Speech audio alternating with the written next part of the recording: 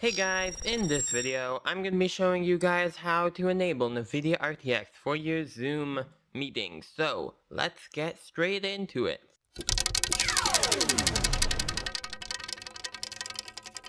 So, I'm going to be showing you guys here.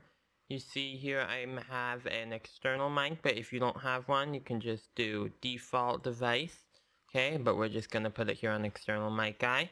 It doesn't really matter too much, just what microphone you want NVIDIA RTX to take. Okay, and then you're going to want output device. You don't really need to have it on. You just want to be, if you want. You don't need to though. Okay, and that's just going to be if you are in a meeting and you want other people's volume to get RTX voice pretty much so you can hear other people better. But now we're just going into the input into the input device to show you guys how to do that part. So then we go here to microphone and then there's that little dot. So you're going to press on that little dot. Okay, and then you're going to go over here into audio settings. Okay guys, so once you're in audio settings, you're just going to want to change it from whatever microphone you had. Let's say here I had microphone Yeti stereo microphone. So now I'm going to change it to the NVIDIA. Okay guys, so that's all you're gonna need to do. Then you can X out and then you have the microphone being at the NVIDIA.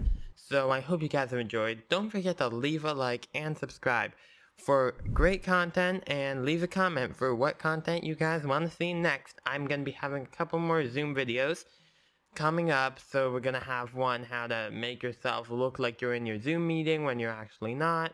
So it's going to be like a hall pass. You're going to have um, some cool green screen thing that I'm going to show you guys with a blanket, Harry Potter. So pretty much guys, got some stuff up for you guys coming soon. So hope you guys have enjoyed. Don't forget to leave a like and subscribe.